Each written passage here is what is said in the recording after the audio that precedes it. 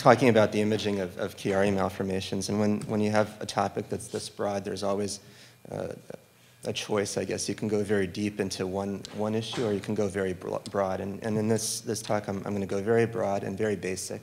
I'm going to, talk about um, modalities for imaging Chiari malformations. I'm going to talk a little bit about CT, a little bit about, about MR, and then I'm going to transition a bit, talk about just basic anatomy just to make sure that we're all on the, on the same page because I, I often get the feeling when talking to uh, patients and sometimes clinicians that we're not, not all on the same page when it comes to anatomy. Then I'm going to show a lot of examples basically and, that, and that'll be it. And I'm a radiologist so I like pictures so this is the last slide that's not going to have a picture on it and that won't have a majority of pictures on it. So this is, this is a CT scan, and I'm going to start off with this even though we don't use it very often to image Chiari malformations because it's very easy to conceptually understand what a CT scan is. It basically images density. So a tissue that's very dense, like your skull, is going to be one color. Tissue that's less dense, like the brain parenchyma, is going to be more gray. And tissue that's very, very um, uh, light, like water, is going to be is going to have a, a relatively lower number, which translates into a darker color on the CT scan. And, and this is very easy to understand. Denser is white, uh, lighter, or, um, uh, less dense is black. Okay. So why would you want to get a CT scan? And, and, and this, this modality came around, uh, came about around the same time as the MR scanner. So what, you, but we still get them. And the reason we get them is that they're very fast. And um, when I talk to medical students, they don't understand how, how much of a pro this is for a CT scan. For anybody that's been in an MRI scanner for an hour can understand why, why this is very, very attractive. That we can image on a modern scanner, the whole body can be Im imaged in less than a minute, and your, your head and cervical spine much, much faster than that. These can also be done in patients with, with electronic devices. So not just pacemakers, old people can't get MRIs, but young people too, cochlear implants, uh, spinal stimulators of, of, any type, vagal nerve stimulators. So any of those people have to go through um, either disconnections or removals. They can't get an uh, MRI, but they can get a CT scan with no problem. There's no safety questionnaire for a CT scan. But there are cons, and uh, for, the first con is radiation, and this is especially um, uh, concerning in kids. Getting a CAT scan now and then is okay, but many of the, the, the, children that we image have chronic diseases, and they would be they would be getting CAT scans uh, very frequently, and we're always concerned about the risks of radiation and the possibility of developing cancers later on in life. Um, and we can never, we can never tell someone for sure exactly how much that risk is elevated, but we know that it is.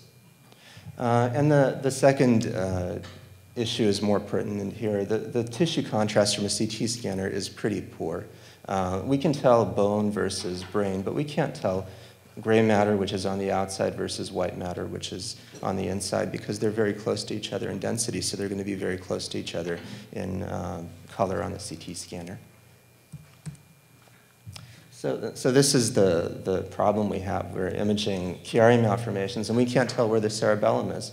Everything is grayed out. The, uh, the fluid is somewhere back here. The cerebellum is up here. Where does it end? Nobody knows. It doesn't always turn out this way. Sometimes a routine CT scan is good enough, and it's very hard to know when we're going to get a picture like this and when we're going to get, get a picture like this. It has to do with the size of the person. This is a larger person, so we image the, the tissue contrast more poorly. This is a smaller person, so we, we image it better. The CT scanner is also very automated. It controls how much dose it's going to give to the patient based on, on numerous factors, how heavy the patient is, some internal sensing mechanisms. So sometimes the CT scan is good enough and we can see the cerebellar tonsils wrapping around the, the brain stem here and we can, we can even get a pretty good measurement of how, how low they go here. We can improve the resolution of, of a CT scan uh, with contrast material. And uh, here we're injecting uh, contrast into the CSF, and contrast that we use is very dense. It's almost as dense as brain on the CT scanner. And so now here we, even though the, the tissue contrast isn't great here, we've provided our contrast, and now we can, we can make a, a pretty good measurement of exactly where the cerebellar tonsils are. Downside of this is you have to get a spinal tap, and nobody wants to do that if they can avoid that. And this is called a CT myelogram. If someone ever offers that to you, that's what that looks like. So switching now to MRI. And MRI is, is uh, a space age technology, I guess. We get exquisite soft tissue contrast. And I'm going to talk about three sequences. The two main sequences that you're going to see in radiology reports are T1 weighted and T2 weighted. And these days we're using probably 10 different sequences per study. But these are the bread and butter sequences. And I'm not going to go at all into the, the technical factors of what, how you get these or how, how exactly um, they're derived.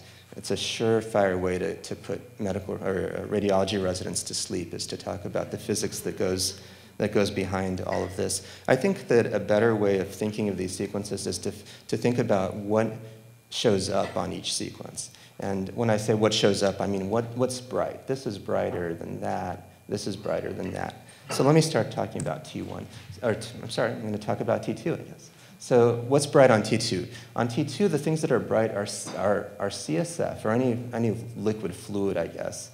CSF, so in the ventricles, here we have lateral ventricles, and you can see that there's fluid in the cerebral sulci here. And the other thing that's bright on T2 is fat. And the two places we have fat in the brain are, are in the head. Uh, the subcutaneous fat, which is this rim of signal around the, the outside of the head. And we also have a little bit of, of fat in the marrow. So bone marrow has fat in it, and that turns out to be bright on, on a T2 weighted sequence. T1's a little bit more difficult. Uh, fat is also bright on T1, and you can see that the rim of, of high signal around the whole head is, is bright, so that's fat. Other things that are bright on T1, hemoglobin. So when you have a, either a blood clot or a hemorrhage, any kind of blood turns out pretty bright, and this is, this is a bleed in the brain. Uh, a few other things are also bright, and I'm not, this, this list is incomplete, but the most common is contrast material. And if you get a contrast enhanced study, what we're looking for is things that turn up bright on a T1 weighted sequence. For a Chiari malformation, it turns out not to make that much difference, so I'll, I'll leave that off right there.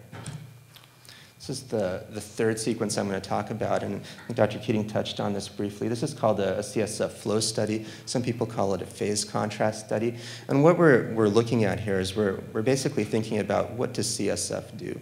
And um, CSF pulses with every cardiac, with every heartbeat, I guess. The CSF all through the body, body pulses. And it, it doesn't move as much as blood, but it moves a little bit.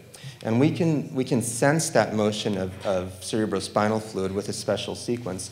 And what we're seeing here is uh, here's the head, here's the, the brain stem, uh, cervical spinal cord, and none of these things are moving, right? These are cells, it's, it's a piece of tissue, nothing's moving. But the CSF is moving, and uh, the, the, the bright signal here is anything, basically, that moves toward us. So this is moving out of the screen towards us.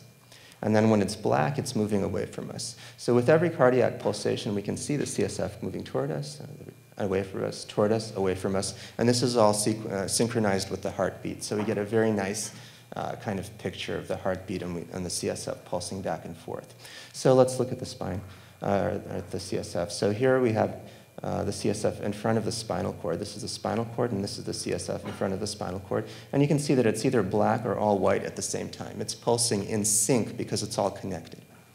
So let's look at behind the spinal cord. And there's less fluid behind the spinal cord, and that's normal. But we can see that it's white here, and then it turns black, and it's pulsing in sync with the fluid in front of the spinal cord, again, because there's no obstruction, it's all in sync. Let's go up further here. And we're, we're coming up here into the fourth ventricle, and this arrow is showing the fourth ventricle. And there's not as much fluid in the fourth ventricle, it's more distant. But you can still see that when the fluid is white here, it's white there. When it's black here, let's get it black. White, white, black, black.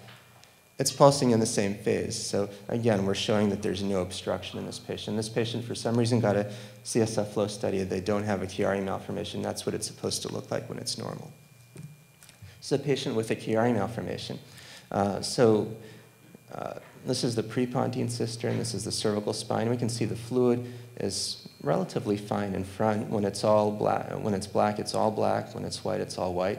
And behind, we see uh, fluid pulsing in sequence with the anterior CSF space, space, and here we see the obstruction. We look at the fourth ventricle and we don't see any pulsation of, of fluid at all, and this is, this is the obstruction that we look for in a, in a CSF flow study. Now I'm going to uh, switch gears again, uh, do some just very basic anatomy so that we're all on the same page when I show the examples of pathology. So this is a sagittal T1 weighted sequence, and this is a standard sequence. Almost every MRI has this sequence.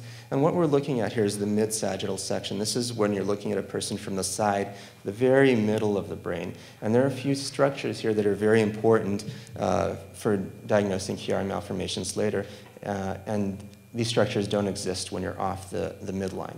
So the most important for me, the, the one I look at, is the pituitary stalk, which is right here. And the pituitary stalk is only a millimeter or two thick. So if you're off midline even a little bit, you won't see this. And this is a very important uh, marker to tell you that you're right in the midline. Uh, we also have the corpus callosum, which is the large um, fiber tract that connects the cerebral hemispheres. And, and this is a very common abnormality in uh, Chiari patients, uh, the midbrain tectum, which, which becomes very, later, very important later on when we try to distinguish Chiari malformations from each other. Um, here we have the straight sinus. This is just a, a blood vessel, and it, like the pituitary stalk, this is an important marker for the midline, so that we know when we're measuring the tonsils that we're actually measuring the midline. Um, then we have the clivus, which is a triangular bone, and the occipital bone, and here is the foramen magnum, and this is the line below which we're measuring the, how far the tonsil falls. Okay. Uh, this is just an axial image through that skull base where the, where the brain meets the cervical spine. And the, the two structures that we look at here are the brainstem, which should be a nice circular structure, and it should have CSF all the way around it, which remember is, is bright on the T2. And we have two black dots there right next to it. And these are the vertebral arteries. And um, it's important because these can sometimes be compressed when there's a Chiari malformation. So we always want to make sure that we can see those black dots and the, the vessels are, are there. Okay. So typical Chiari malformation, we've already seen many examples of this. We measure from the clivus to the occiput, and we draw a perpendicular line. And greater than five millimeters, we call a Chiari malformation. And that works really well in adults, not, not as well in children. Um, in children, we allow maybe even up to a centimeter. Dr. Keating was talking about how difficult it is to separate normal children with low-lying tonsils from, from uh, true Chiari patients. It's important to, to notice that, that we're measuring from the, the verge of the bones. And we can see that there's bone marrow signal here and marrow signal here, but that's not where the bone ends. It ends down here. And you see this a lot. You see uh, patients being brought in and they have, sometimes they, they have even wax pencils where someone made the measurement up here and, they're not really measuring the frame foramen magnum. The bone actually extends way down here to where the, the black line ends. So that's really the measurement that you should be making. So don't do that. So this is just an example of a Chiari-1 malformation. We've already seen a few of them. Uh, the tonsils extrude down posterior to the, to, the, um, to the spinal cord, and this is a close-up. And some people call these peg-like tonsils doesn't look like a peg to me. It looks like something's kind of squeezing through like a pastry bag. Um, and we see the, the narrowing of the, of the canal. Um, uh, we've talked a little bit about, a bit about hydrocephalus. Remember the, the normal ventricular size. They should, they should come to nice little points here and here. And we see the hydrocephalus where the ventricles are really getting dilated. Remember that corpus callosum that we saw? This is the large motor tract of the, of the uh, or a large tract that, that combines their, uh, I'm sorry, uh, that connects the two hemispheres. It's not the only tract that connects the two hemispheres, but it's the largest. And we can see that this dysgenesis of the corpus callosum that, that's also fairly common with Chiari malformations. And again, you see this on the mid-sagittal section, normal Chiari malformation. Okay. And then remember we were talking about how the, the brainstem should look with the CSF all around it, a nice oval or circle here. And here we see it being compressed by this tonsil that it's, that's extruding down. We see the, the CSF is almost gone. Uh, we don't see the vertebral arteries very much. We can see this vertebral artery compression in certain patients. And we'll see about, uh, we'll, we'll see some of the consequences of, of this later on. Again, Chiari one, this is a congenital fusion of an upper cervical vertebrae. These are incredibly common. I think these are, these are massively underreported. Uh, uh, the, the speaker before me was showing a case of, of, uh, of uh, Chiari-1 mal malformation. I'm not sure if, if, there are numerous fusions like this. You see them all the time. They generally don't cause many symptoms, so they're, they're not recognized, but it's a nice corroborating feature when you do see it. You can see the, the vertebrae here is fused to the one below it. Switching to Chiari2, and uh, I showed the, the midbrain tectum before on the, on the, on the, um, the normal anatomy slide, and that was a little sliver that went this way. It looked like a little comma. Uh, in a Chiari1 malformation, nothing happens to that tectum. It looks like a nice comma shape. And I use a beaked, this is called a beaked tectum. When the, the, the posterior fossa is being pulled down, this kind of gets pulled up. And you see this come to a point, and, and I think this is probably the most useful feature of separating a Chiari1 a, from a Chiari2, is this beaked tectum. And basically that's just a marker of the cerebellum being pulled down. Here's another uh, example of beak tectum. They all look very similar. You shouldn't see the, the midbrain coming to a point like that. Another sign of a steep of a Chiari2 malformation, the very steep tentorium, the, the torcula, which is the where the the main veins of the brain come together, is very low, and this this boundary between the the cerebrum and the cerebellum is very very steep. This is an older patient with a Chiari that apparently wasn't treated, and we can see the tonsils, and they're very atrophic, and this this happens so um, very frequently in, in, patients that, that are unsuspected and come in with a Chiari malformation. And it's thought that possibly that compression of the vessels gradually makes the cerebellum atrophic and kind of cures itself if you're willing to wait that long. Okay. Uh, dysgenesis of the corpus callosum is one of the most common malformations of, of uh, any basically syndrome, and we see it all the time in Chiari 1, Chiari 2, many other syndromes. So again, we see dys dysgenesis of that corpus callosum again in a, a beak tectum. So this is our Chiari-1 patient. So we have hydrocephalus, and this is our Chiari-2 person, and again, we have hydrocephalus. There's one distinguishing feature here. Uh, in the Chiari-1 malformation, you see this, this septum pellucidum. This is the dividing septum between the two lateral ventricles. And the reason that we have the, the hydrocephalus in Chiari-1 is, some, some people mentioned before, is that it's just a segmentation anomaly, and the hydrocephalus is a result of obstruction. In Chiari-2, it's a, it's a much more involved uh, disease that involves neural progression and neurulation. And so you actually lose stru developmental structures that should be there, like that septum pellucidum. So it's not just a regular hydrocephalus. we're getting into more serious consequences of, of Chiari-2 malformations, again, because this is a disease of, of neural development, not just segmentation. And uh, here we have normal gyri in the front here, and, and back here you have these very abnormal looking uh, cerebral gyri, and this is called stenogyria or narrow gyri. This is also a very common thing to see. This is probably one of the, the most severe uh, manifestations of Chiari-2. We don't see this very often, and the finding is just this little blip right there.